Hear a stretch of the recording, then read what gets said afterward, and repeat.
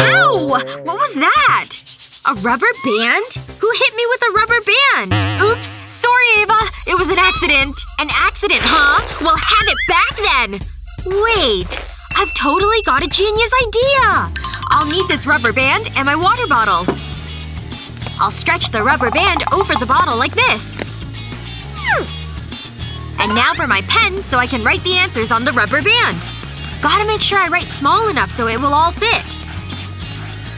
I just gotta make sure I get this all down before the test starts. Done! I fit the whole equation! Now I can pull the rubber band off. And if I want to read it again, all I have to do is stretch it.